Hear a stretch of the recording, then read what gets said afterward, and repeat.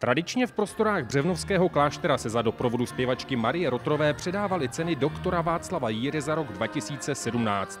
Malou plaketu za rozvoj fotbalu v krajích a okresech obdrželo tradičně 42 fotbalových funkcionářů či trenérů.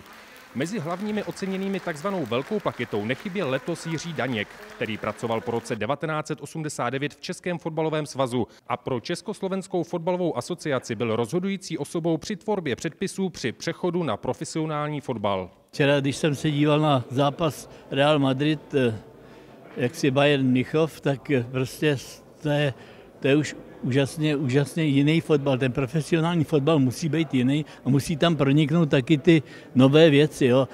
Není možný prostě ten fotbal dělat tak jako se to dělalo před 50 lety. Velkou plaketu, kterou každoročně dostávají osobnosti, jejichž přínos pro český, respektive československý fotbal má globální dosah, obdržel letos i Oldřich Rot. Legenda Pražské Dukly získala v roce 1980 s reprezentací olympijské zlato a patřila také do kádru, který přivezl z Itálie bronz z mistrovství Evropy. Dlouhá léta se navíc věnoval mládeži a působil jako delegát Českomoravského fotbalového svazu.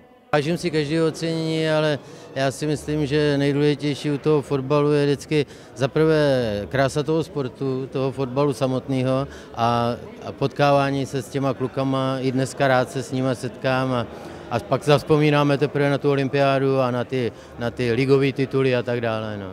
Pokud je Oldřich Rod legendou československé reprezentace, Dušan Žovinec je zase živoucí legendou ženského fotbalu, a to nejen doma, ale i v Evropě.